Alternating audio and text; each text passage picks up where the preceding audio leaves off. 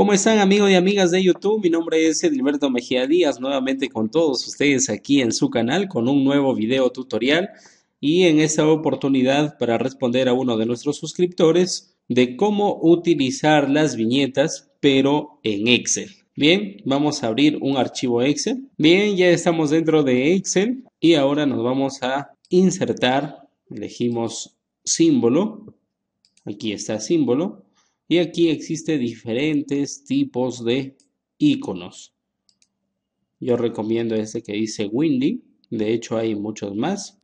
Ahí pueden ustedes visualizar. Y yo voy a elegir cualquiera de los que aparecen aquí. Por ejemplo, voy a elegir este icono que está aquí. Damos a insertar. Cerramos y ahí lo tenemos. Podemos trasladarlo a otro lugar acortamos el ancho de la celda.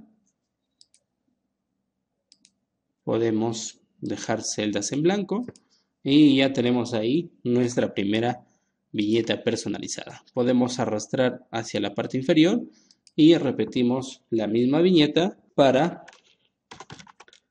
los diferentes textos que podamos ingresar aquí dentro de Excel.